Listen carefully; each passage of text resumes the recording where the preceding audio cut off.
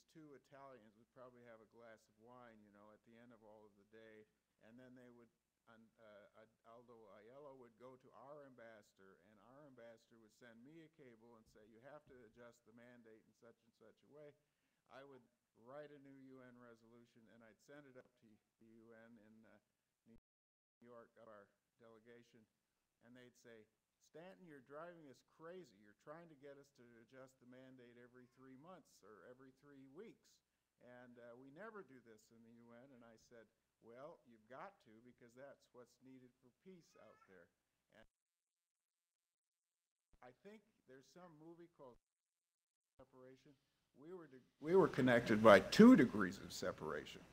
And then finally I met him. And since that time, uh, he has done so much uh, for genocide prevention. He's the chair of the Genocide Prevention Advisory Group. Uh, he's been so involved. He's the he's the head of the community of Saint Egidio here in the North America. Uh, a very important organization that has negotiated peace in many places. Uh, he is a very committed man who cares. And believe me, it is a pleasure to work in his school. So without further ado, I just introduce to you Dean Andrea Bartoli. Thank you. Um, happy to speak from one place or the other. Probably here is better with the mic.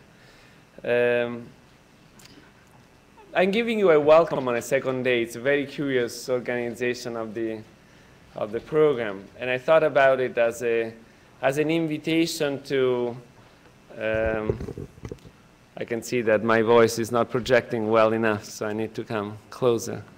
Um, it's an interesting invitation to welcome you to your own second day.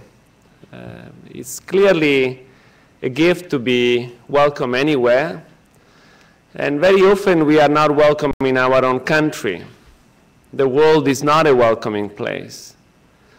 So to have a place in which we can encounter ourselves as workers, as people doing something meaningfully, is definitely an important task, is an important opportunity to reflect.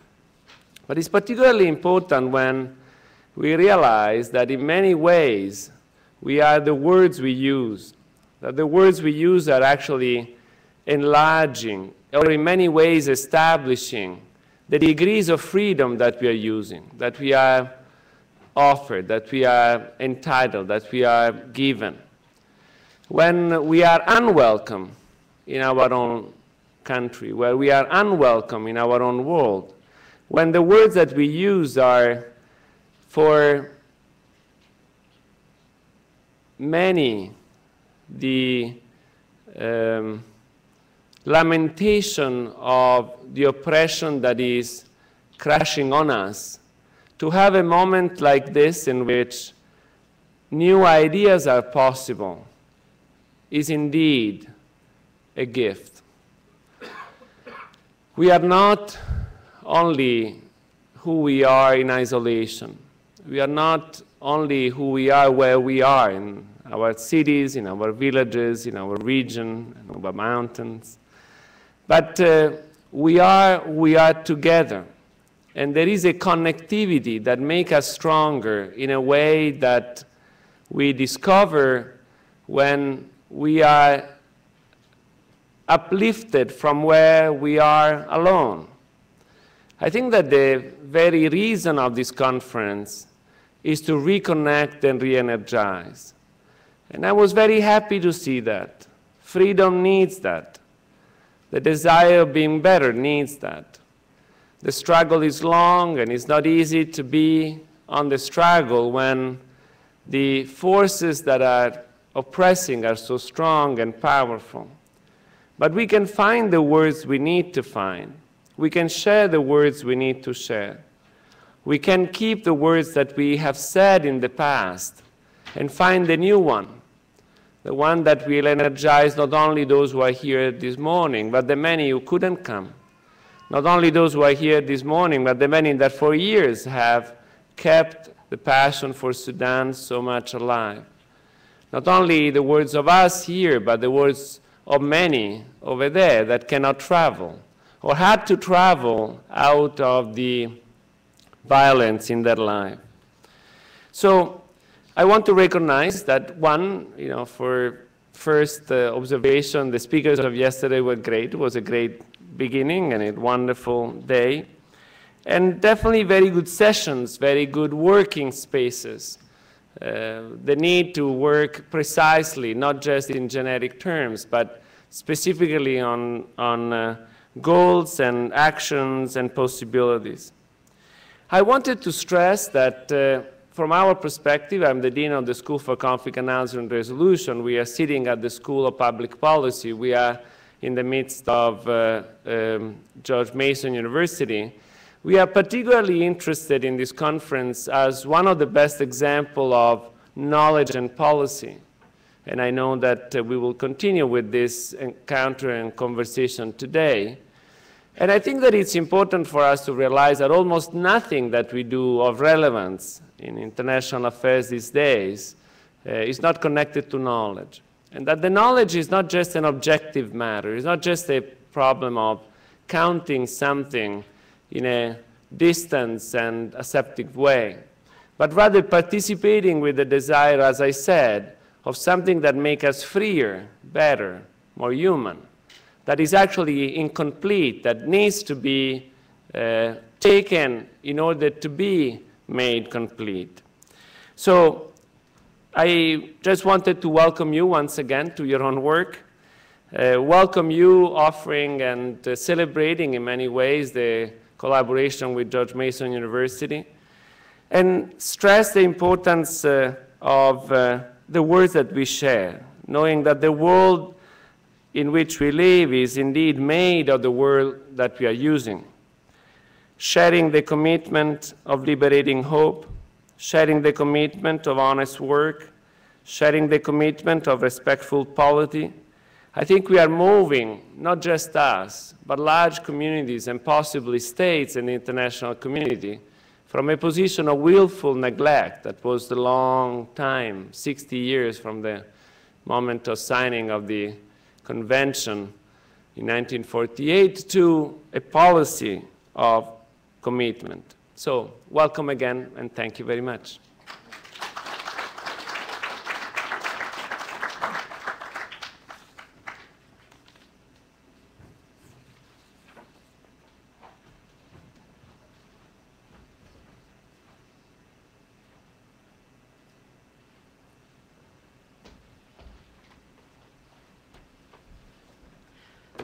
Good morning, everybody. Um, I'm Elizabeth Blackney. I'm with Act for Sudan. And I'd like to welcome um, our panelists. Thanks to, thanks to everybody for getting here so early. I know we had a long day yesterday and an inspiring day. Hopefully this will be, um, give us some practical information about, um, about how to transform media coverage of Sudan.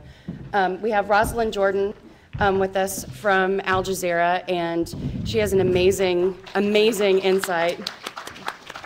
Yeah. Thank you. Thank you And we have the former U.S. State Department spokesman with us, P.J. Crowley. And Josh Rogin is here with us today from Foreign Policy. So um, without any further ado, we'll get started. Rosiland, would you like to start for us? Sure. Um, I'm a pinch hitting, fellow Red Sox fan. Um, I am pinch hitting for my producer, Camille El Hassani, who is very sad that she could not be here today, but we've been working on one of those stories where when the person finally says, yes, I'll do the interview, we have to go. So she corralled me Friday and said, I need you to do this. I will go take care of this interview because we have it. But go talk about Sudan because we have been spending a lot of time talking about Sudan. Um, I know that these are just introductory remarks, so I'll try to be brief.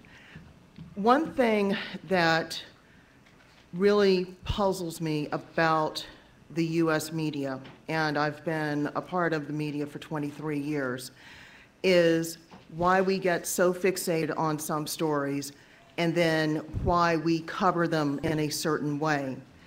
And one thing I have seen and have really come to understand in my last five years being at Al Jazeera is the frame in which we approach stories that are outside of our community. And for better or worse, we all resort to the easiest image, mainly generated by Hollywood, in order to try to approach our news coverage. You can't take the people out of the journalists. That said, it does not excuse us from trying harder. To wit, one thing I noticed when I first got to Al Jazeera was this real temptation or almost crutch to open every story that did not take place in the United States or in Europe with people dancing and people beating on drums or people blowing on flutes or music or something that said, this community that we're about to show you, to whom we're about to introduce you, is primitive because they all they have time to do is dance and beat on the drums. And the longer I looked at these stories and then started looking at our competition, which has been the BBC, the BBC does this in every single story. If you go to Southeast Asia, you're going to see people squatting over pots of rice or trudging through rice paddies or herding cattle. You're going, if you go to the Andes, you're going to see people in colorful knit hats blowing their panpipes. It's, it, it's just never ending. They will argue, my British colleagues in particular will argue, we're trying to establish a sense of place. As an American, as a descendant of Irish immigrants and African slaves, I will say you're trolling and stereotypes. This is no better than going to Boston and then trying to figure out, okay, where are all the undocumented Irish immigrants? And let's go see if we can find them, you know, dancing in toe shoes. Really? Would you do that? No, you would not do that if you were trying to cover a story in Boston. So what I think viewers and readers have to do, particularly when it comes to radio, when it comes to television, and when it comes to online multimedia elements, which do involve video and sound. People who are reading and thinking about the news need to say to these organizations, you need to find another way to tell the story. You need to get us beyond these stereotypes, because unless you do that, then we can't talk about, well, what happens once there's an Independence Day celebration in Juba? And then how do we move on to actually building capacity, actually creating an economic system that will help Sudan and South Sudan work out their oil issues and then help South Sudan actually create an economy that will not just be completely dependent on its oil reserves. So I'll just leave it there and then and we'll talk about whatever you want to talk about. Thanks. PJ? Um, It's a pleasure to be here uh, from the other George down the street, George Washington University. Um, And and a lot of what we're talking about here is actually, you know, part of what I teach now at GW uh, on public diplomacy and strategic communication. Um, I actually think that uh, Sudan is doing better than you think. Um, And and I know part of the premise of the panel is, you know, darn it, you picked up the Washington Post or the New York Times this morning, and Syria was on the front page, but Sudan wasn't. Uh, And I I would argue that the, you know, the most important determinant of Sudan uh, media coverage uh, is being made at the State Department right now, uh, i- in that there will be another special envoy uh, for Sudan, replacing Scott Gration and then subsequently, you know, Princeton Lyman. Uh, And, and in fact, that's to some extent the nature of news. Uh, It, it is event-driven, it, it is institutional-driven. Um, Public opinion regarding these issues uh, is elite-driven, and, and you have a uh, tremendous cadre of uh, elites who are focused on Sudan. You're part of that uh, effort. So I, I think the, uh, while there, clearly there has been a, shift, as, as Ross was talking about, uh, you know, to the crisis du jour, and right now that's, uh, that's Syria. Um, It it doesn't preclude uh, attention returning uh, to, uh, to issues of of Sudan. Um, thinking from my two years at the State Department, where, where, you know, Sudan was a, a, a admittedly a more prominent issue at the time, to some extent, you got to understand, you know, what, what drove, uh, the conditions that drove that, uh, that coverage. Uh, Obviously, you had a, a new administration, you know, coming into office, uh, picked up the comprehensive peace agreement, uh, and, and moved it towards uh, independence for South Sudan. You had a couple of subplots, obviously, given the, uh, the warrant uh, regarding President Bashir of Sudan, how would the administration handle that? You know, the, the tenuous nature of the U.S. relationship uh, with the ICC. Um, You had, uh, you know, different subplots within uh, the Beltway in that, um, you know, Scott Gration, friend of the president, went to work for the Secretary of State, who had been a rival in the 2008 campaign. How would they get along? Uh, You know, my friend Josh here, uh, you know, the, the whole issue of the specials, whether it was Richard Holbrooke, whether it was George Mitchell, whether it was Scott Gration, were they eclipsing the, the Secretary of State? No. We argued within the State Department, but that didn't preclude, uh, you know, some coverage, you know, to that effect. Uh, um, You had an active process in the Doha process. You had a, an impending crisis, obviously, if the uh, follow-on negotiations on the CPA had failed. We had the real prospect of uh, a resumption of the Civil War. You had something that approached a deadline or, or a clock ticking, if you will, uh, you know, towards uh, decisions that led to uh, the independence uh, of, of South Sudan. So I, I think part of the challenge going forward is, is to kind of recreate some of those, you know, conditions. I mean, a a last ingredient obviously was um, uh, the, uh, you know, personal involvement by the President of the United States.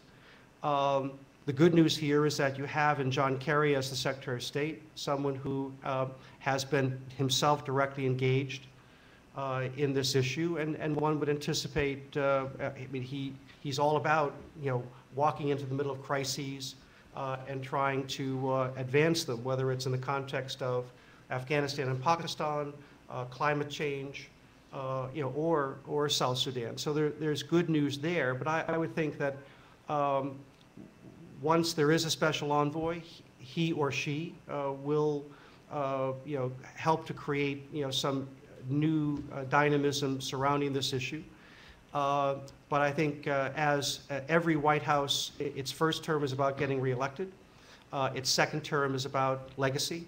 Um, There, there, there is a, a, a reasonable legacy for the Obama administration in the first term. Um, uh, And, and things did advance forward. Obviously, there's an enormous amount of ongoing suffering and unfinished business uh, in the context of, of Sudan and, and, and its various elements from uh, the border and Blue Nile and South Kordofan, uh, you know, to Abyei and so forth. Uh, The, the real issue is come back to the White House in a, in a kind of a, um, a savvy political way and just say, Let, let's finish the business. Uh, There are things that have to get done. Uh, Obviously, the, the, the most significant votes and what gets done will be, uh, you know, decisions made by Bashir and and Salva Kiir.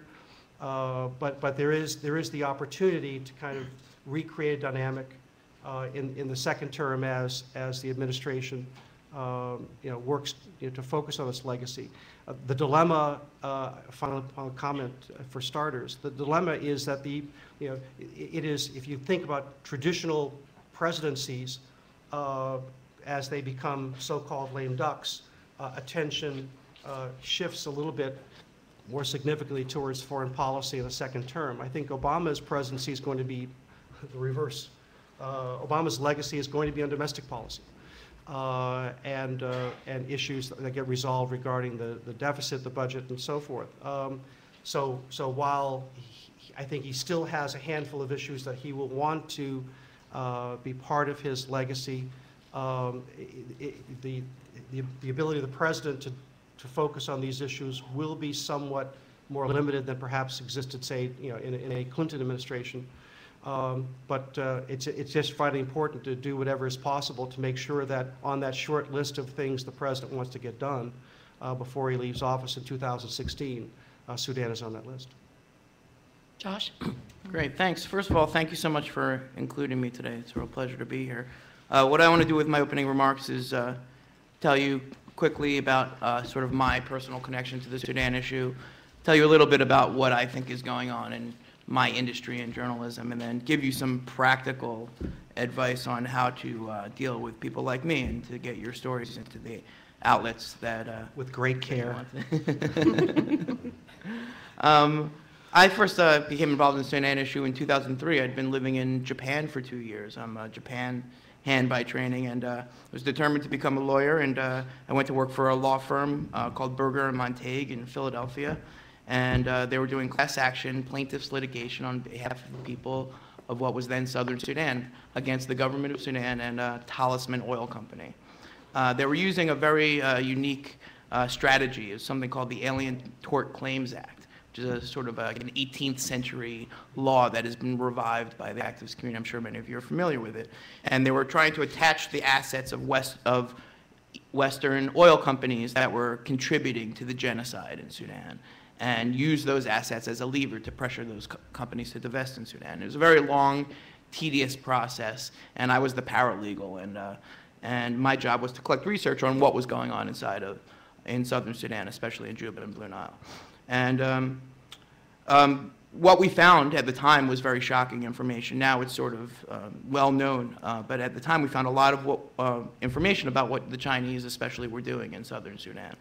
Um, our case plodded along. Eventually, Talisman did divest. Uh, an Indian company took up the slack, and uh, the abuses uh, continued. Um, but the information that I collected, I eventually uh, put into an article that ran into the Straits Times of Singapore. It was an op-ed, and it was about Chinese actions in southern Sudan. And at the time, it- contained a lot of new information. And uh, two things happened. I got fired from that job. That's a true story. Uh, apparently, the part, senior partners who have been working on this issue for 20 years did not appreciate the 22-year-old paralegal publishing uh, in international newspapers. Uh, but also, that article, uh, you know, traveled around the world. It was picked up by oil industry uh, press, by Asian press, by African press, by the human rights community, by the advocacy community. And I got a call from uh, the Japanese newspaper, called the Asahi Shimbun, and they said, that was a, we didn't know any of that stuff. Why don't you come down for an interview? And three weeks later, I was a reporter. Uh, and I moved back to Washington, and I became a journalist, and I've been doing that for ever since. Um, and So a year. What's that? so uh, yeah, so uh, so Sudan was the reason that I became a journalist, and uh, ever since then I've followed it very closely and tried to uh, pay it the attention that I think it deserves. Uh, that's a long way of getting into uh, you know sort of uh, what I found when I got to the journalism industry, which is essentially that journalism is a mess. Uh, it's total chaos. As it turns out, journalists do not make good businessmen or necessarily good managers and definitely not good CEOs. And all of the companies that I've ever worked for, with a very uh, distinct exception of the one that I work for now, Foreign Policy, have been uh, at, at their core very dysfunctional, right? At the same time, uh, the newspapers and uh, outlets that we all deal with uh, failed to, they were about 20 years late to this thing called the internet. They thought it was all going to be a fad. And then sometime in the 90s, they realized it wasn't. And then sometime in the aughts, they realized they better do something about it. So they're, they're way behind. Uh, this came in an era of cutbacks, a destruction of their model of doing business, and the, these cutbacks severely impacted coverage of foreign policy, especially in major news organizations. So what you had was uh, major papers uh, cut down their staffs covering the State Department, covering these issues, and especially doing foreign coverage and investigative journalism. You all know this. Uh, so the few reporters that were covering foreign policy at these major news organizations often practice a journalism uh, uh, uh, pattern that I call seventh grade soccer, which is uh, today the ball goes over here and everybody runs over here. And then the ball gets kicked over here and everybody runs over there. So, uh, you know, they wake up in the morning like, okay, we're doing foreign policy. Today's Libya Day. Okay, what's going Yeah. on in Libya? And today's Syria Day, and then today's Afghanistan Day. And like maybe once every three months there'll be a Sudan Day. And, uh, you know, it's, uh, you get very surface coverage, you get a commodity story, which means you get 50 people writing the same stuff, uh, not a lot of added value, and not a lot of expertise within the journalist community on any one of these issues. Uh, this is all, these are all uh, big problems, but I'm not here to tell you that the journalism industry is totally full of problems because, uh, you know, in this darkness, some people have lit candles. And uh, what we've seen is a proliferation of new and, and, uh, and interesting outlets and venues. Uh, so while, while the major papers are in uh, severe decline, uh, there's all sorts of new outlets, and these new outlets have a very low bar of entry.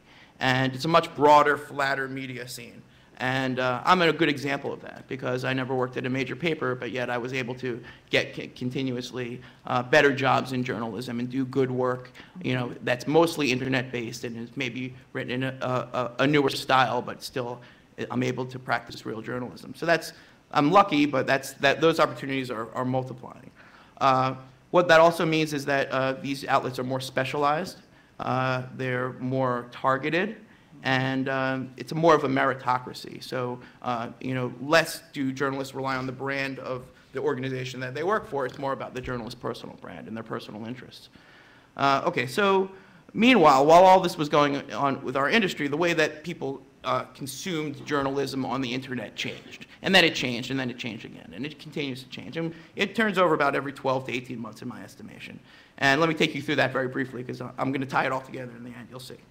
So, uh, in two, 2006, 2007, 2008, when I started really writing on the internet, uh, it was all about platforms, right? The idea was a journalism organization would build a beautiful website, and it would have pictures here and lists here and a, a graphic there and a Twitter feed there. And, you know, the, it was sort of like, if we build it, they will come. If we just make a beautiful website, everyone will want to get to work every day and click on it, right? That worked for a couple of years, right? Then uh, 2009 came, and uh, this thing called, it, the, the, the game moved to search. And we saw the rise of companies that figured out that people don't go to websites anymore. They go to Google or Yahoo, and they type in what they want to read, and whatever comes up first, they're likely to click on. Uh, so this was the, this saw the rise of sites like the Huffington Post, which made hundreds of millions of dollars gaming search. They figured out how to get their stuff to the top of the search results. Uh, the problem with this, of course, is that people are not writing for humans; they're writing for an algorithm. They're figuring out what does the computer want to find, right? And uh, but that worked for about two or three years, and then 2011 came and it turned over again, and we went to what social. So no longer do people even go to Google or Yahoo to, to figure out what they want to do. They consume news largely uh, by uh, um, filters through their trusted sources. So this could be Facebook, it could be Twitter, but don't get caught up in social media or new media, old media. There's no such thing as the new media. There's no such thing as the old media. There's just the media.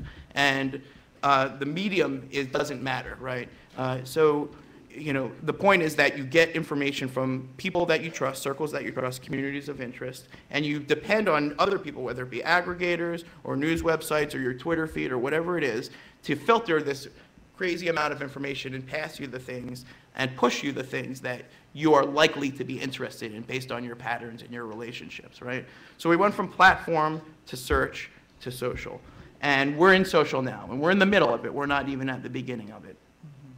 Uh, so this is, uh, the way this affects a writer is that instead of writing for an algorithm, you write towards what people are likely to share, what people are likely to notice, what's likely to get through the, the, the opaque mass that is the, you know, the internet and, and break through. Uh, okay, so let me now take that into what that means for you and how you can, how that, you can take that information and uh, do your jobs better. So uh, the idea here is that uh, most people, I mean, I get pitched every day. Most people, uh, you know, uh, focus on those few outlets that they think are the biggest or the most credible, right? Uh, but again, those outlets are not the best places to receive your pitches, right? What you want to do is identify all of the, the, the specialized writers in the specialized media who are focused on what it is that you're selling. Uh, there's, if, the, if you are interested in uh, you know, rice subsidies in, you know, Ethiopia. There are 10 bloggers who are super interested in just that specific issue. And it's going to take you a little while to find those guys and then meet them and reach out to them, but I trust you they exist, right? So rather than go to the New York Times and try to sell them a rice subsidy story, which they may touch for half a paragraph three months after you talk to them, you know, start from the bottom up. Use the trade press, right? Use the people who are invested in all in your issues. They're they're they're sitting there. They're waiting uh, for your call. Uh, also, people in the in the in the internet media don't have uh, the structural limitations, right? I can write about it as much as I want, whenever I want, however I want. Uh, so it's much, you know, we're we're, starved for content. So you know, find those people who are looking to write more, who are more aggressive, who are not you know, trying to cover a beat, people who are, have some sort of passion or interest, right? Uh, then what you want to do is you want to cross communities of interest. Uh, so, you know, when I want to hit a big story, what I'll do is I'll find a story that has a sort of like a media angle plus a national security angle plus a social media angle. Uh, when I used to cover uh, PJ here, uh, we found several good examples of that because he was both a government figure and he was a social media personality and he uh, you know, said crazy stuff that impacted foreign policy and national security. Uh, so, Thanks, Josh. yes, it was great. It was great, great stuff all the time. Uh, so, for, for example, my Sudan story, right, the first one that I ever wrote, it, it was an oil story, it was an Africa story, it was an Asia story, it was a human rights story, right?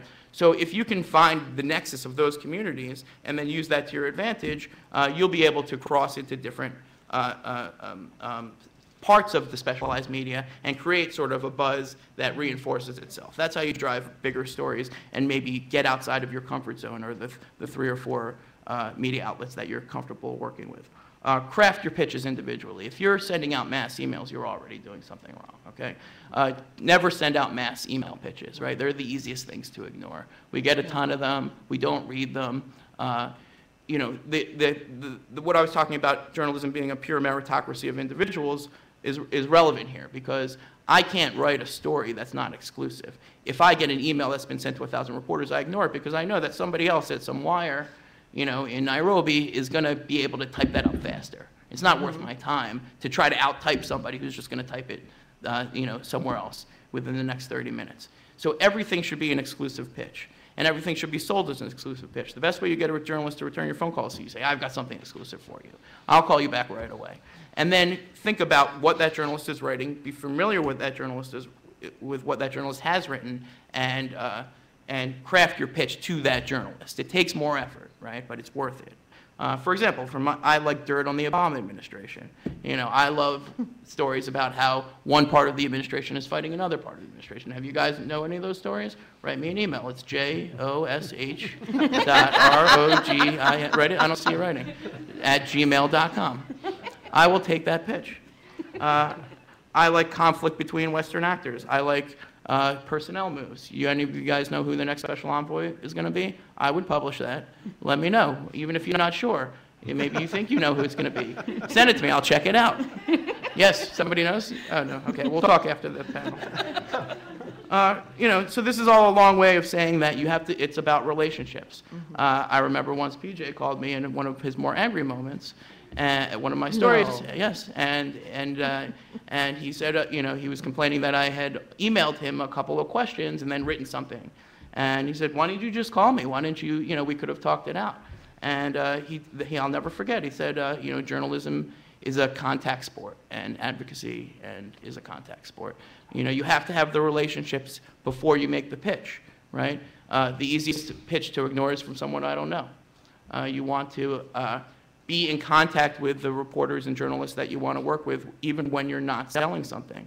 You know, the best advocacy uh, uh, um, uh, um, people that I deal with are the ones who contact me when they're in town, uh, when they're not selling anything specific. And we just talk for an hour over coffee or over lunch, and we come up with ideas together, and who knows where, what, what might come out of it. Um, okay, so I'm going to uh, give you one last example. So uh, one big story that came out of that is uh, the Child Soldiers Protection Act. And this was a story that I've been covering for three years. Uh, for those of you who aren't aware, it's a law passed by Congress by Democrats, uh, most uh, sponsored by Democrats, which said that the U.S. shouldn't sell weapons to countries that fail to make progress on their uh, you know, use of child soldiers. And every single year, the Obama administration has waived all of the sanctions with uh, justifications that range from perfectly legitimate to perfectly ridiculous. And uh, nobody, the first year that they did it, they, they didn't tell anybody. There was no conference call, there was no press event, there was no briefing. They just put out like a one-line email. Hey, uh, we're waiving PL blah 102367. And, you know, I started to know what it was. I got a call from, uh, uh, I'll, I'll name check Jo Becker at Human Rights Watch. She was the one who brought this to my attention. And then I called some people at World Vision and some people at CARE, and, and they explained it to me, and I broke the story about how the Obama administration was uh, ignoring this law, and sure enough, uh, you know, that kicked off uh, a process by which they started to make justifications, talk to communities of interest, uh, hold conference calls. The next year, they handled it much better. They still waived all the sanctions, but at least they told people about it. And, uh, and uh, the third year, they waived all the sanctions again, but at least they came up with less bull- bullet explanations. So, you know, I never would have known about that if the uh, human rights community hadn't brought it to me, and, and, uh, and if I hadn't written about it, nobody would have. Uh, so that's a good example of a, a positive, constructive relationship. I'll stop there and uh, I'll take any questions that you have. Thank you. Great, thanks, you guys. Um, And I'm going to ask a couple of questions of the panelists, and then I'll open it up to questions from the audience. I'm going to be really tough on the mics, so be nice to my mic assistants. Um, We, um, we want as many questions as is possible, so please keep them to questions, not speeches. And, um, and we'll get started with that in just a second. Um, PJ, I'd like to start with you. On the, we, we talked a little bit before um, the panel about the CNN effect. Um, something that we, in the advocacy community, we always want to know how to make a story relevant to reporters, and I think you all address that um, in, in kind of comprehensive ways. But if you could tie that together, there's, you know, often questions. Yesterday, um, Ken Isaacs gave us a rather inspiring um, talk, and we, you know, everybody always asks why, why not Sudan? Why Syria? Why Libya? Why? Um, and it's it's the seventh grade soccer. They're running from story to story. How how in the advocacy community can they um, can they take advantage of or find a way to get through to having a CNN effect? Is it really about the individual pitch? And and since you've been the guy who gets the calls from people like Josh, who get calls from people like Susan Morgan or myself, um, how can we help drive more media attention? And does that actually affect it? Does it compress the time frame? How, how can we do that better? Well, the, the CNN effect uh, came out of um, the experience in Somalia. You know, whether the pictures that of, of uh, the tragedy that was unfolding in the early 90s uh, in Somalia uh, forced the Bush administration to uh, send troops, in, in essence, to make a decision it was it would not have made. And, and the, the scholarship on that uh, has been that, that it may accelerate the decision-making process, but it doesn't necessarily change what, you know, what a, a- an administration would do. Uh, And, and now you, you know, the CNN effect's been followed by the Al Jazeera effect, it's been followed by the Twitter effect or the Wiki effect. Um, I mean, publicity is, never hurts.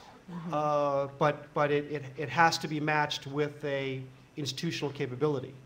Uh, I, I, I do think that, uh, you know, picking up on a little bit of what, what Josh was saying, that um, um, while the domestic, the U.S. domestic news hole for international news is shrinking, absolutely.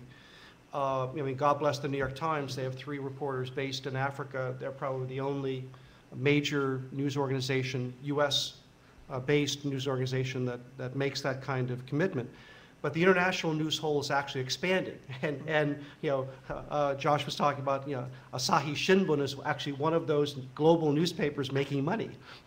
Uh, And, and, and Al Jazeera and Al Jazeera English, um, you know, provide a, a very significant, uh, you know, niche as well. So I- I would say the, you know, what's essential here is, is no high-level visit to Sudan should be, uh, should go unaccompanied. Um, You know, the topic of Josh and, and my early conversation at the State Department regarded um, a, a truly incredible diplomat named Richard Holbrooke. Um, If, if Richard went to the region, uh, he never went alone. He always had uh, journalists going with him, uh, and, and there is, as you've hinted, this aspect of investment. Uh, If, if you get a journalist engaged in a story, if you get a journalist on the ground uh, in Sudan, for example, uh, he or she is going to write one or more stories based on that investment of time. Uh, So I, I would say that, that as you look at, you know, the- who are the figures who can drive, uh, you know, drive some, you know, attention-getting figures, whether it's a UN official, whether it's a US official, or an official from some other country, since nominally the Doha process is still ongoing, um, you know, make sure that there are journalists that are walking the same ground as, as they walk. Now, later on, you'll have, you know, one of, one of the great, uh, and he's a friend of mine, so I can call him a gadfly, John Prendergast. Uh, I mean, John is expert at this. Uh, and, and I think that, that's, that's what you need. So, so the, the fact is that since the Obama administration is going to replace Princeton Lyman, that necessarily means that they continue to see Sudan policy uh, above and beyond, you know, just the, the the day-to-day challenges that Johnny Carson has as the Assistant Secretary of African Affairs. So that, that's good news. Now the question is, how do you exploit, uh, you know, that individual and that ongoing policy focus, you know, to continue, you know, to move the administration together with others who have an interest uh, in Sudan, uh, you know, to, uh, uh, you know, to, to move in a direction that is, uh, that is constructive and, and puts the appropriate pressure on, you know, the various parties to reach decisions that obviously they've been resisting for the last, you know, couple of years. One thing I will uh, say, touching on something that you just said, PJ, is that it's not just about trying to help figure out or advocate for one person or another to be the new special envoy for Sudan and South Sudan. Mike Posner, who is the Assistant Secretary dealing with human rights issues, is also leaving the State Department.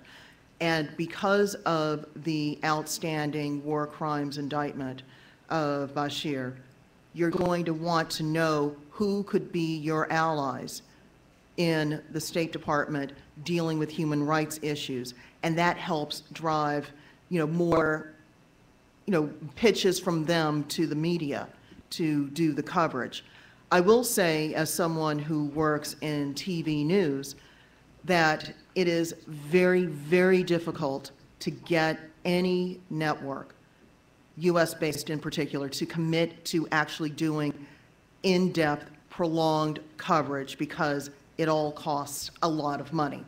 And when Josh talked before about exclusivity, it had better be something that we will never see on any other channel because then the very highest level bosses will say, I thought this was exclusive.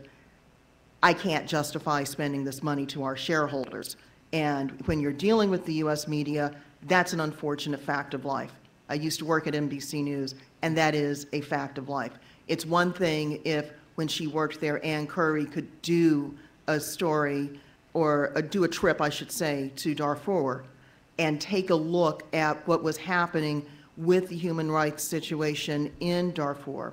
But she was a frontline anchor, and she was able to get command of more resources, producers, photographers, a security team, the time to actually, you know, spend on the ground for a week or two weeks, gather material, talk to people, listen to people, and then have multiple places where she could run her stories. An ordinary correspondent, such as myself, even though I have a beat, it's a lot harder to get that kind of coverage. Now, Al Jazeera and Al Jazeera English are very, very good at trying to get to places where other TV networks are not. However, there is still pending the opening of a bureau in Juba. That offer has been out there inside the network, outside the network for more than two years. We've had no takers. And I think that's partly because a lot of people who otherwise might be persuaded to want to do foreign news coverage don't see that anyone, one, is trying to hire Two, you don't want to hire a kid straight out of college because you need, a, you need some street smarts and you need to know how to handle yourself in an environment that is not the one in which you grew up. And then they don't want to trust something that critical to U.S. foreign policy to just anyone. So you have this barrier, even at an international news network, where the people who are most willing to go in are not the people that you want to have because they're not ready to tell those stories. If I could clone myself and be there, I would be there. But I would also want to clone myself and leave myself at Guantanamo Bay to cover all of the military commission trials that are going on there. And then if I could clone myself again, maybe I would try to make my way back into Beijing because we're going to try to put a Beijing correspondent back in country and try to cover China's influence, not just on Sudan, but in Mali, in Ethiopia, in Somalia. But I can't be in all of those places at once. So if you know people who are trying to get into journalism, get them beyond trying to be the local news anchor and try to get them actually engaged in doing real work that's actually going to matter to people. One thing that I have also found is that everyone will say that Americans don't care about foreign news. Americans are xenophobic. Americans say we spend too much money on foreign aid to other countries. Why do we even need a State Department, really? First cabinet agency, but why do we need it? But if we were to make the commitment as an industry to consistently cover what is, in many ways, a flat world and show Americans how connected we are, then people will start to expect it. And then my final point on this is that um, as someone who does, um, who has worked in the mainstream media and not in any specialized media, um, I also am very much aware and grew up reading the black press. And personally, I find it shameful that there is almost no coverage of foreign policy beyond what's happening with Nelson Mandela's health. I also find it absolutely, absolutely shameful that with at least two major television networks that supposedly have a public service commitment, BET and TV One, that there is no consistent coverage of international news involving people with roots in the African diaspora. It's, uh, we don't push enough for this coverage. We don't create the demand. So the mainstream media is not going to put something out there if it doesn't think there's a demand for it. Sorry, just a, a couple of things. Uh, I, was, I, I wanted to talk about what PJ said about the special envoy system. Uh, he identif- we identified a couple of people to watch the administration who replaces Princeton Lyman, who replaces Michael Posner. I would add Sam Power to that list. Uh, I think who, who replaces her will be important. Uh, I think she's expected to replace Maria Otero at the State Department. And I would also add uh, what happens with Susan Rice. Does she go to the White House? And who replaces her at the UN? Is it Bill Burns? Uh, these are all personnel moves to watch. But, uh, you know, I wanted to go ahead and disagree with PJ on uh, his comments on the significance of uh, the fact that the Obama administration will appoint a special envoy. It's my personal view, based on my reporting, that the special envoy system, while ambitious and aggressive when it was announced in 2009, uh, has been essentially uh, um, uh, stripped of any of, of the influence that it, that was intended for it. And uh, you know, I mean, listen, that's just you know, things happen, and it just so happens that this White House has uh, more control over foreign policy decision making uh, than most than any other administration I've worked with. That's their prerogative. It has good and bad effects. Uh, but you know, you could read Vali Nasr's book, and it's all about how the White House undermined Holbrooke. Uh, you guys follow Gration. You know, what was he really in control of? And and it's not just a matter of and, uh, you know, I would put Stephen Bosworth or the current North Korea envoy, they're not making North Korea policy. They're, you know, they're implementing it. So it's a, you know, you could, I could argue either way that that's a good thing or a bad thing, but, you know, let's not over romanticize the existence of a special envoy because it depends on what they're empowered to do. Uh, it also depends on what their priorities are, and I would go back to Gration here because, uh, you know, it was my experience. I loved covering Gration because he said a lot of crazy stuff, and uh, that made for great copy. And he didn't care at all what the White House think or what the State Department thought, for that matter. His policy was Gration's policy, and it didn't have to match anybody else in the whole world. You didn't know you had it so good when it was on the front page of the Washington Post talking about cookies. Yeah, cookies and, cookies and gold stars. I like cookies and gold stars, but maybe it's not going to solve the Sudan crisis. So, so uh, you know, so so yes, follow the appointments uh, and starting with the White House and moving out. Uh, but also follow what are the priorities of that, these people? Because someone who has a job like Sam Power is dealing with crises all over the world. What level, where does Sudan fit into that list is more important than, you know, uh, and whether or not she, her view seems to be winning the, the day internally. Uh, that's important. And then I would say, like, you know, there are people outside of the executive branch who I found to be really uh, good, and I would, and I just would mention uh, Chris Coons, the senator from Delaware, uh, who has been amazingly uh, active on Africa, uh, I think, in a very constructive way. Uh, so if you can't get your answers you want from the State Department or the White House, uh, you know, please uh, uh, avail yourselves of your congressman because they, they can have influence from the outside. Move on to the next question. Great, thank you. Um, We've got Faith McDonald, go ahead, and then, Hi, Faith McDonald from the Institute on Religion and Democracy, and my question is for Josh. Uh, You brought a real blast from the past. I worked a lot on the um, Alien Tort Reform lawsuit with Charles Jacobs, and uh, thought we were going to actually go somewhere with that until the judge was it killed in a hit-and-run accident who was going to accept it, um, and then the next judge wouldn't. But my question is, what do you think today would be the equivalent of the Alien Tort Reform Act to use in terms of Sudan? What can we get the most media coverage on and actually try to make a difference with? Okay. So, yeah, so the alien, the, the law firm that I worked at that was using the Alien Tort Claims Act, they did not want media coverage, hence my dismissal, right? So, uh, you know, that is a, a process that's separate from what you guys are doing with the same goals but different strategies. It's a very long game. Uh, it's played out over decades.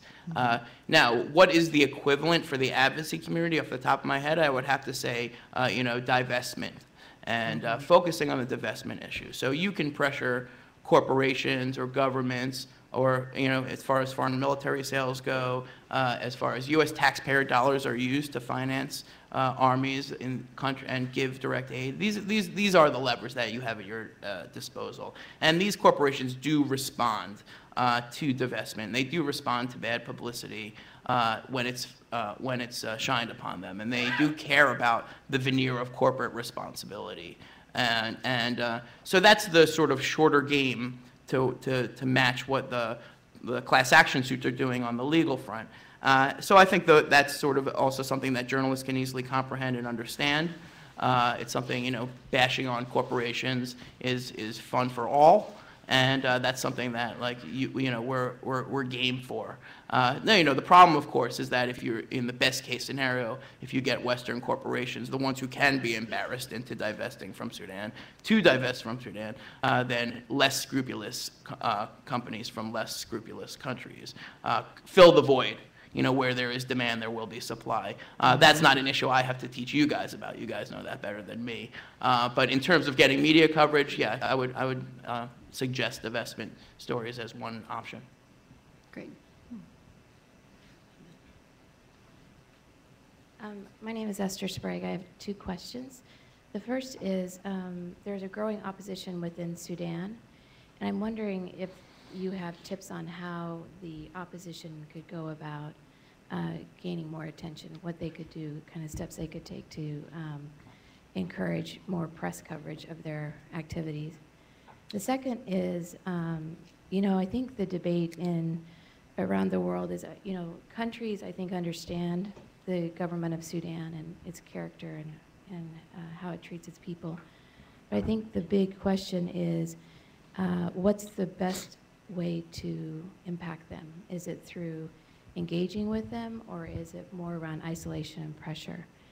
And um, as we're seeing sort of a more visible relationship between Sudan and Iran and some of the terrorist organizations, the people that are for engagement would say, well, we haven't given them any choice. Um, they need friends, and so they're reaching out. people that are for isolation would say they've always been friends with it and they're just being more visible about it now. So I think um, as this, we're looking at a new special envoy, and I think that's always the, the question in the administration is, which is the best approach? And one of the candidates that I've heard about is um, former Sudan, uh, for, former U.S. Ambassador to Sudan, Timothy Carney. And if you look back on his work, he primarily has been for engagement. And so um, I think. This Okay, is- Esther, I think, I think we, we have the Yeah. question. Well, PJ, would you actually- address that, please? Josh has Actually, got to don't get a the file, question. Thank so- you. That's, that's good. Thank you. Yeah. Go ahead. We have limited time. Um, I- I- To to disagree with Josh's disagreement, We're getting very meta here. I don't know. Um, I mean, it- having an envoy, but also having a process. Uh, And, and the, the the question is, you know, whether it's the Doha process, uh, whether it's the, uh, uh, the- you know, the charter, uh, the tripartite agreement, whatever the case may be, ha- having something that, that brings uh, the international community back together, um, and then who are the parties that get to be uh, engaged in that process. There's been some encouragement of having the SPLM North, you know, be a part of the process. Sudan is balking at that, obviously. Uh, But that, that, that is a stage in which, you know, all of the relevant stakeholders get to, uh, get to play. And, and then the, you know, there, there is something to the, uh, the naming and shaming aspect to this. Uh, You know, which countries uh, are playing a constructive role um, and which countries aren't. And, and, you know, so John Kerry was just, you know, in Doha. I, I assume that he had a talking point on, uh, on South, on Sudan, South Sudan as, as part of that. Uh, But, one, you know, this year, one of the uh, very significant stories is going to be, um, you know, how President Obama gets along with Xi Jinping. Uh, You know, finding a way to make sure that Sudan becomes part of that discussion, uh, I, I think will be, uh, will, will be, uh, you know, particularly, you know, relative, but relevant, but, but, but having a process where various stakeholders, uh, NGOs get to kind of, you know, say, you know, who's, who's part of the problem and who's part of the solution. Uh, That, that, those become, that, that, that can take on a, a constructive dynamic. Um, uh, I, the other thing is just, you know, where do we want to be in, in, uh, in, in January of 2017? Uh, What do you want to see in, in terms of uh, Sudan policy or South Sudan policy? And, and then, you know, you know, chart a constructive path, having, I mean, the, the value of having a special envoy is you have a conversation. Uh, and, and that person's not, you know, worried about, you know, Cote d'Ivoire today, not worried about South Africa today, not worried about the implications of the Kenya election. All of those things are very significant. You know, you know, he or she is focused on, um, you know, how do you overcome the existing obstacles uh, regarding the relationship between Sudan and South Sudan. That can have uh, uh, you know, uh, influence. Um, a- And then uh, inviting the special envoy to have a private conversation and a public conversation. Uh, All of those things can have influence, but it, it really is pushing the administration through the special envoy to the Secretary of State, to the National Security Advisor, to the President. Uh, Where do we want to be in January 2017? And what is the role for each one of those people, uh, you know, to get us there? I mean, an aspiration would be, uh, you, you've had a visit to Juba, you know, by the Secretary of State, uh, you know, last year before she left office. Uh, Could you envision, the Secret Service will go crazy, you know, could you envi- envision a, a visit by a vice president or a president to Juba uh, before he leaves office? Uh, If you, if you can get that as part of the conversation, uh, it, it, you know, potentially it could, uh, it, it- could develop some momentum, and Josh is exactly right, that, that, you know, Samantha had an enormous amount of influence, uh, as did Gayle Smith at the White House, and, and, uh, you know, who will pick up the mantle uh, with their either reshuffles or their departures. Uh, I wanted to uh, take the, uh, the really quick point about the opposition in Sudan. Um, If you compare it to the opposition in Syria, and before that, the opposition in Libya, we've, we in the media have now had two experiences with an incipient opposition. And it takes time to organize, it takes time to figure out the priorities, it takes time to play the politics within the opposition. We saw this with the Friends of Syria meeting last week, which was almost scuttled because there was some sort of dispute within the opposition about whether Western capitals had been harsh enough in their comments about the latest fighting in Aleppo. And that was, a- that would have been a huge embarrassment for Secretary Kerry if that had not gone forward. That said, reporters now know it's going to take a while for an opposition to get itself together, to figure out what its priorities are, what it's willing to do with Bashir's government, what it's not willing to concede. And so while they're having these debates and arguments among themselves and trying to scope out a policy, I can think of five correspondents who work at Al Jazeera English who are on the continent right now. They all roam around.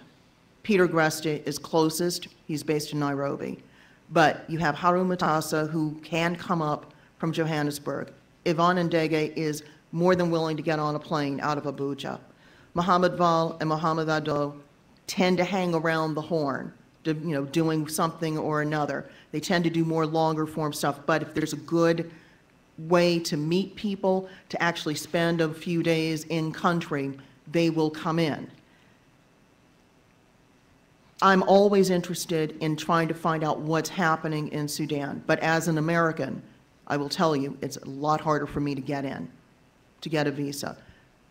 But these six, seven people I just listed, you email all of us. You talk to us, you know, as Josh said, individually, and say, here are some of the things that we're worried about, Here are some of the issues that we have with this government or that government, Here are some of the things that we're seeing happening. You know, you start building a catalog of the work that you're doing, and you maintain an ongoing conversation with these reporters people will then have a basis of knowledge that's not surfacey on which to draw. They will have information that they can then use when they go to a briefing or to a meeting with this official or that organization and say, why haven't you been paying attention to this? Or why aren't you doing more of that? You have to see this as a long-term issue. You know, just having cameras come in and just having reporters come in with big names and big reputations for one big splash doesn't help the people at the end of the day. So think long-term, you know, and be willing to accept critical questions from the reporters. That's our job. You know, if something doesn't look right, something doesn't smell right, we're going to ask, so why are you doing this? What's your real motivation? Don't be offended, because if we're asking the question, believe me, there's a government official who's going to be asking that question too. And if you can't satisfy the public sphere, you're not going to get the buy-in that you're looking for from one government actor or another.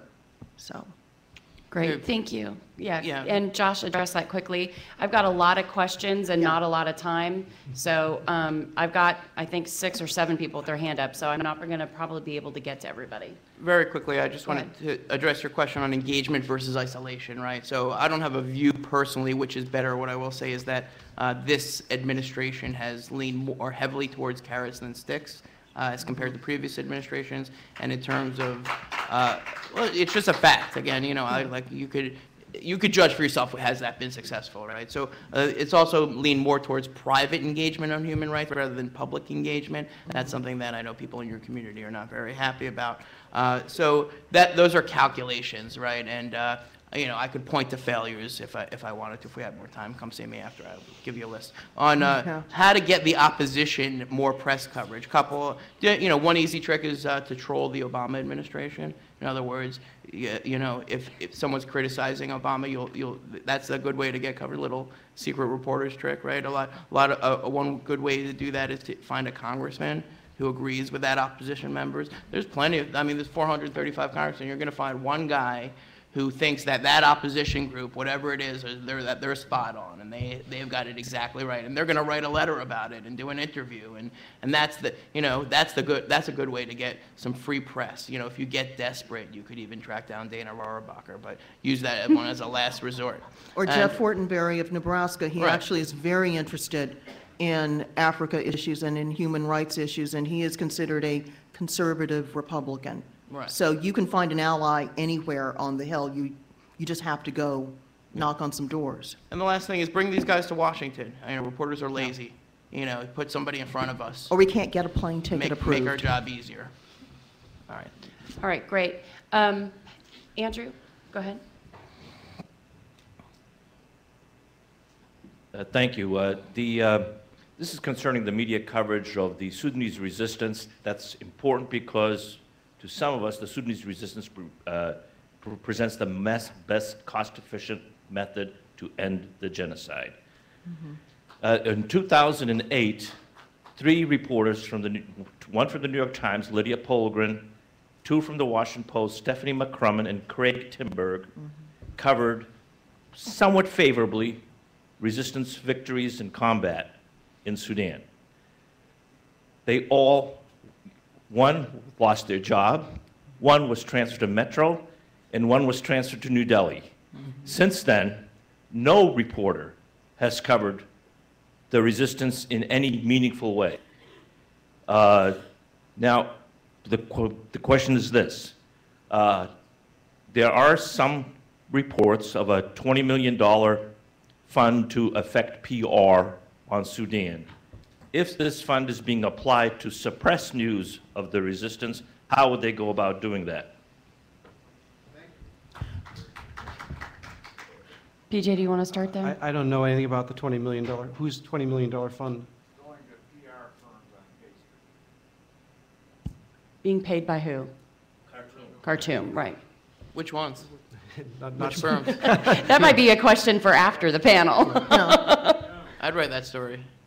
There's, Yeah. there's No. documentation on the proposal. Mhm. The people, the people. who Is this the proposed- Lanny Davis situation? No, it's not the Lanny Davis situation. Okay. All right. Let's talk about that Lanny after the a panel. plan. So- so- I think I'm you have, interested. I think you have an audience. No, That example of a successful pitch right there. no. That right there. And then here? Thank you. My name is Ahmad Noor. I'm uh, president of the Darfur People Association at New York. We have rally uh, with Amnesty International and Act for- Sudan in front of UN. And the act, uh, Amnesty International brought like 500 activists, and we Act for Sudan and other organizations with Darfur People Association at New York organized big rally in front of UN. And there is also a few uh, Libyan and people from, from Yemen, they have rally also at the same day. And there's media, there's Al Jazeera over there. I walked with uh, Sharon more than two, three times. Sharon Silva, she's right there. We walk over there, we ask the media to cover. We have press release and everything. The Al Jazeera guy told me we have order to not cover anything from Sudan, anything. Was I beg him to, was Al this- Jazeera. Was this Arabic or was this English? It's Arabic, yeah. Okay, I work for English. It's the Yeah. same. So, no, it's. Yeah, they're no, same. Two, no, two Yeah, different it's on channels. The same dad anyway. Two different channels. But anyway, finish your point. And uh, the second, uh, they cover for the Libya, they cover for uh, Al Yemen, and there's every half hour press release from the White House. They cover all of, all that, and they don't cover the genocide, which uh, Al Bashir killed more, over half million or three million, and more than four million displaced. They don't cover even for just one minute to know the world assure that there's genocide going on in Sudan. Thank you. Well, I will say first, I cannot speak for Arabic. It is a separate channel with a separate editorial policy. A lot of people get that confused um, because we all say Al Jazeera at the end of our stories. But they have a very different audience and very different concerns. And if there's a choice between covering a rally about atrocities in Sudan versus the civil war in Yemen, their audience is primarily interested in Yemen. That's what they're going to cover. As far as English is concerned, we have reporters in and out of country all the time. One person whom I cannot name because she's actually doing something somewhat undercover is actually in country right now working on the very issue you just raised. Things also don't happen quickly in TV. People seem to think that, you know, if I just walked up with a microphone, boom, it's on television. It doesn't work that way. And even though we are a 24-hour news channel, there are as many stories as you can imagine with nearly 200 separate countries where there's something compelling happening in each one, and we have to make a choice. It's not always the seventh grade soccer game, but there is a finite amount of airtime and how much time we can commit to a certain story. There also has to be a minimum standard of what is happening. Otherwise, we could just have newscast after newscast of this happened today in Sudan, this happened in the United States, this happened in France, this happened in Papua New Guinea.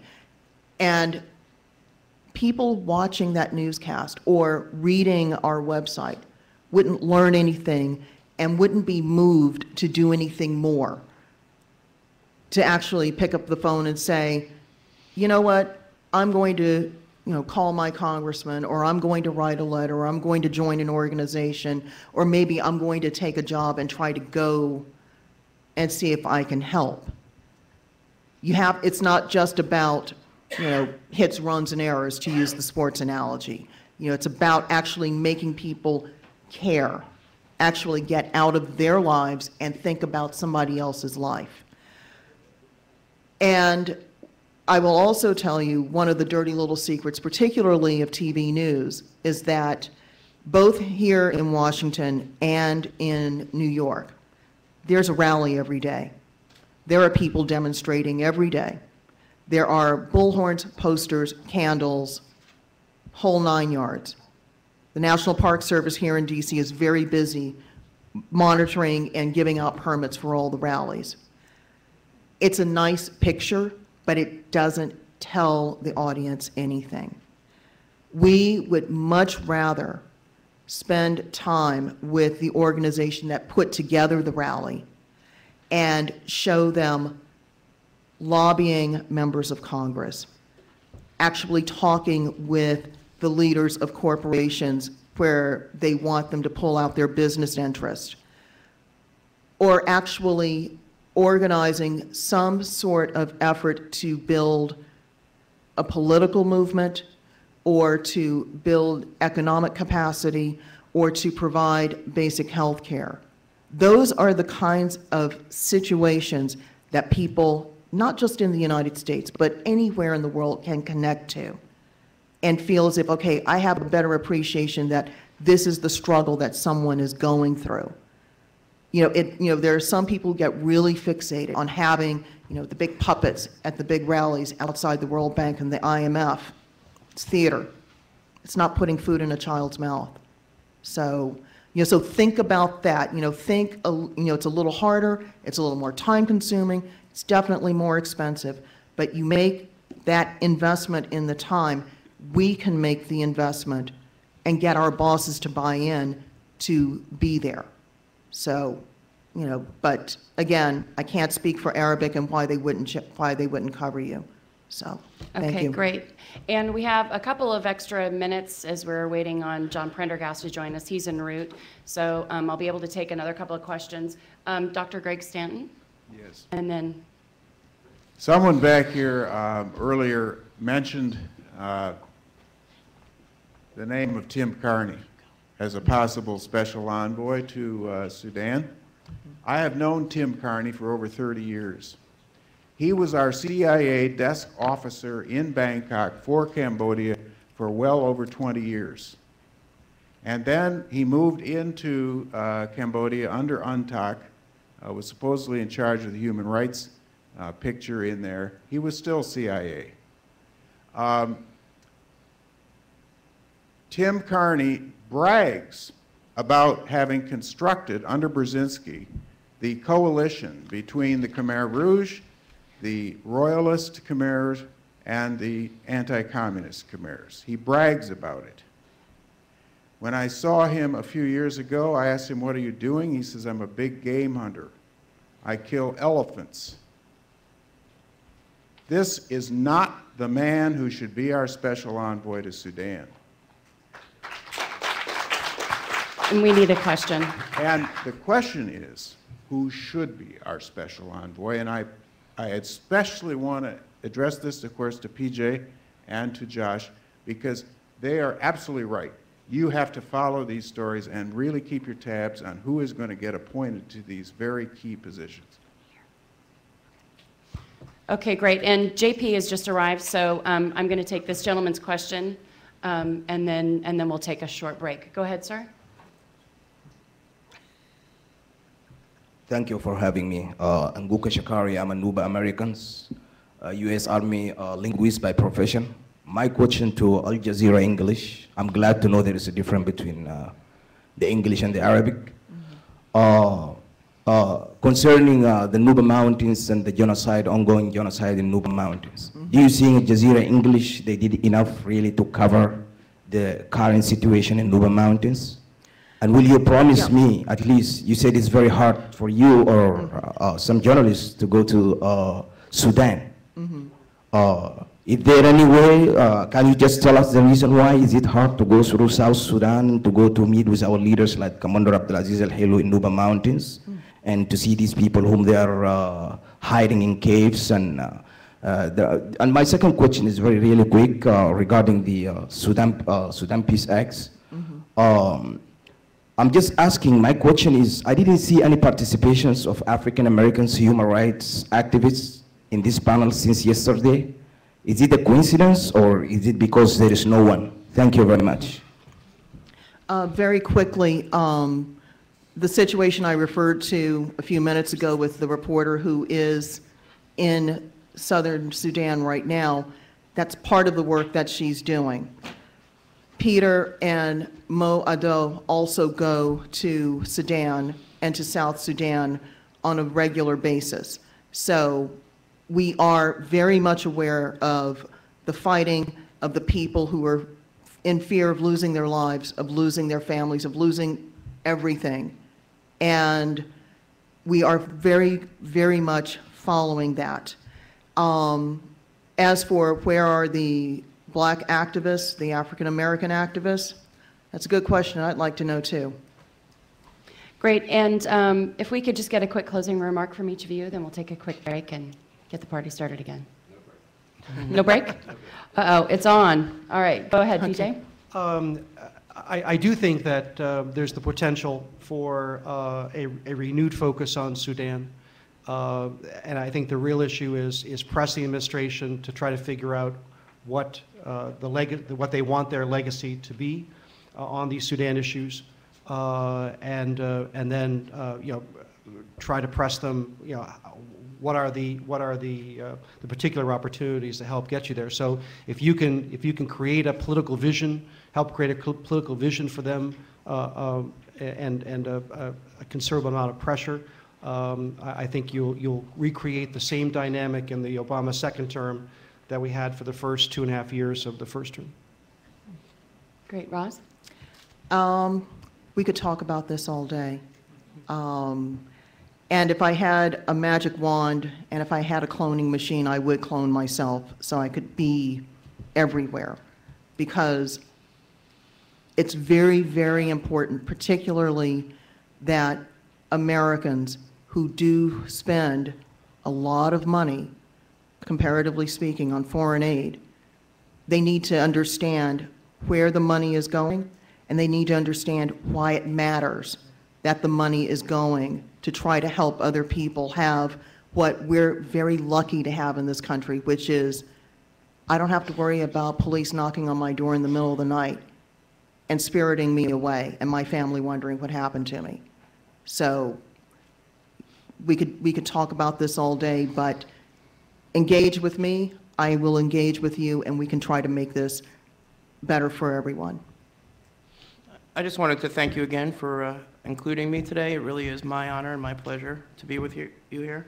Um, You know, my overall top-line message is that, uh, you know, um, you know, an object at rest tends to stay at rest, and that's how I approach covering this administration. And, uh, you know, um, we can sit here and speculate that John Kerry, who has been more for- forward-leaning on Sudan than uh, as a senator, uh, might change that, uh, but, you know, that's not determined yet. And where you sit is where you stand in this uh, government, and he is one player and not even the major player uh, on foreign policy. Uh, So uh, the, the second term Obama administration policy in Sudan is not written, and their inclination is to do uh, uh, less rather than more. Uh, It's, they're a very busy group of people with a lot of pressing challenges. Uh, The good news is that they can be influenced and they do respond to pressure, and that is your role and my role as well. Uh, So what you are doing is important, it can move the needle, Uh, keep it up, and uh, if I can help, please let me know. Thank you. Great, thank you.